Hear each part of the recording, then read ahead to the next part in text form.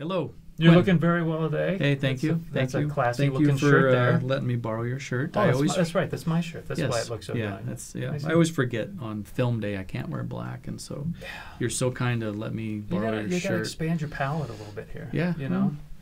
Anyway, All looks right, good on you. Thank looks you. good. So to- welcome. so I'm excited today because yeah, uh, me too. We're gonna. The, we we were trying to figure out like how to describe what is it exactly we're trying to accomplish, and the short answer is we're not trying to accomplish anything. We don't have a plan. We're really just shooting from the hip. Yep. But in this case, we uh, the idea was two classic kind of flagship examples of dreadnought mahoganies, and then Taylor Yep. Grand Pacific Grand Pacific. mahogany. Uh, so not not a versus, not a head-to-head challenge, anything, but really just, Just uh, here's you got, what you get. you got classic sounds, and you've got this new uh, incarnation building upon that sound. It's Yeah, the new kid in, it's in it's the, the, new kid. in the uh, the big three. We'll call Yeah. them the big three. Yeah, the big three makers. Gibson, Taylor. Taylor has never really tried to like go. I, I would say head-to-head, you know, because they've always been Right. like. We've we've got a distinctive purpose where we've got applications. It's not to supplant or replace or compete directly. Right. This is uh, another offering to maybe complement the larger uh, set of options that are out there for guitar players. Yeah. Okay. So sorry, I just shut off my phone. it beeped. That's all right. This is a tough day. So- Okay, we got noise upstairs. Yeah. People are making That's right. noise. Well, it's you know, hey, we're These in the are- catacombs of Music Villa. Yeah. This is an active music store. right.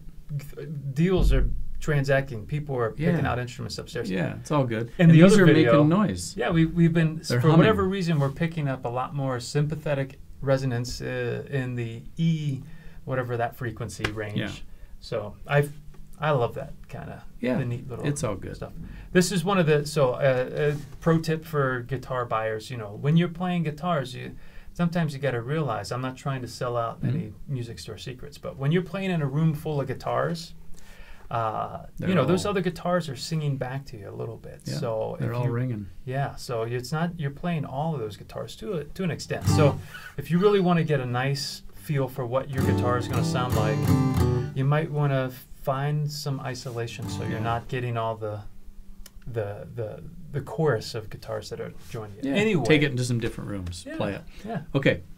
Now we're back gonna, to the video. We're going to show you what each of these does. hmm It's not necessarily to compare them, but this, you know, was a bluegrass machine. I mean, Mhm. that's, but they're all mahogany guitars. They're all dreadnought-ish shape, right? Right. They're all in that same type of category. They're the three big brands. Mhm. Let's just see what each, what each one does because they're all different, and you're even going to play different stuff on each one. That's the thing.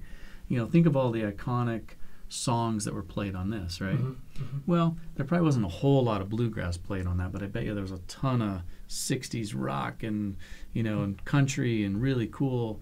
There's so many different things played on. Same with this one, Mhm. you know, country rock, but you know, a lot of bluegrass on Yeah, this there's one. there's a tradition that follows each of these Yep. these flagship guitars uh, within genres. Yeah. you So know. so the point is they're different guitars, even though you know they're the same type of guitar. They still have different formulas of how they're they're made. So Right.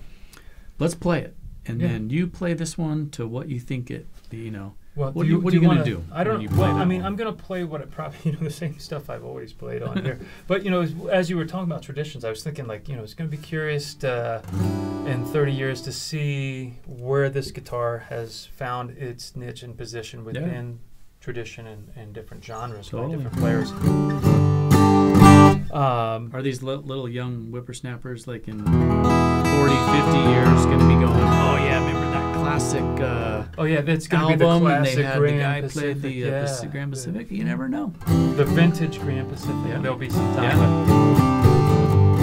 What I noticed when you play this guitar, uh, I'm not sure again always how it's gonna how well it translates in the room. It's it's very even. There's some depth, but it's not like you know big bottom. It's uh, it's very even keeled, which uh, I think as we've said before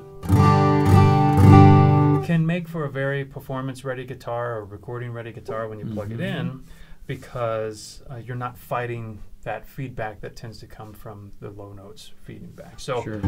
probably very manageable on stage. Uh, acoustically, it's pleasant and very well balanced. I always always Okay. feel like I'm talking about wines here. It has a nice Yeah. earthy undertone. Nice Okay. legs, good color.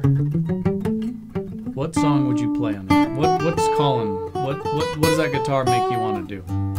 I don't know. I would probably do, um, you know, uh, funk versions of hip hop songs acoustically. Hmm. I'm totally just kidding. I don't know what I would play. It would just be whatever, uh, whatever I was playing at the moment. I would probably play um, probably more fingerstyle on this one. This good. would be a really good solo artist guitar. If you're talking about a guitar that would, I know we want to get to the others, but the um, I like that. That was this, good. I think this would be the type of guitar that the one guy or gal who is a singer-songwriter wants a guitar for all styles as a performance performance instrument. This would probably Okay. fit that bill very well. And then what would you do on a classic? Oh, I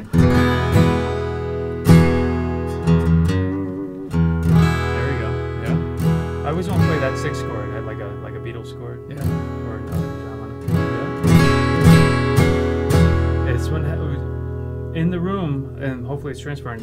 You'll notice there's the the growl, the low end. Yeah. The uh, the mids, it, again, it's kind of that smiley face EQ is what I hear in the room.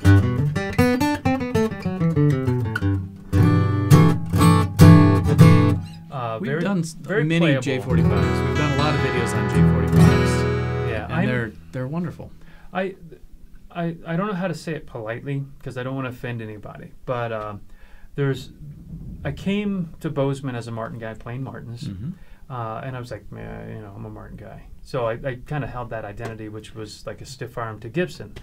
Having the Yeah. opportunity to play lots of Gibsons, I, you know, that that stiff arm is dissolving. Um, uh, I'm really enjoying They each have little pockets of cool stuff that that makes them unique. I don't know. it. Just it does sound like an old. It's a good old like rockabilly, honky-tonk rock and roll, rock song. country. Yeah, just sounds good. And of course, you know. Now, in hearing this guitar, just playing it, it's um, it's a little. De- the depth kind of extends, I think, through the mids a little bit more. Just to my ear, again, subject to what you're listening with through your computer or phone or whatever.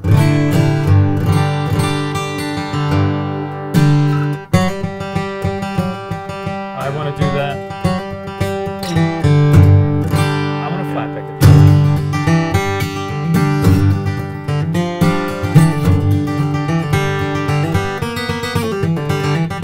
Yeah. It just it, that's what this guitar That's feels like it wants to do. yeah. So they're all wonderful. They're really, they're really all unique in their own way. Mhm. They're all mahogany. They're all you know legendary guitar builders. So we have the Martin D18, the classic Gibson J45, the new uh, Grand Pacific uh, Mhm. 517, and uh, that was cool. I think that was a I- good. Uh, Was it this video or the one before? I can't remember. My memory is very short. But you, we were talking about like how many guitars should you have, and of course, from Paul's perspective, you should have as many as your house will hold, or your Uh, wife will let you. uh, Yeah. uh, or as many as your house can hide. Yes. maybe Yeah, there you go. sometimes. Um, oh, but what is this other guitar doing in the closet? But uh, at, at the time, it's like you know, I only have one guitar. I've got some other types of guitars, but they're very, n- I wouldn't say Nichey. n- nichey, but they have very clear I think what you're trying to say is you now realize you actually do need more guitars. I'm saying I wouldn't be opposed to having more guitars. there you go. Uh, and I think little videos like this show you why that's the case because they do have very distinctive sounds. Uh, you, Yep.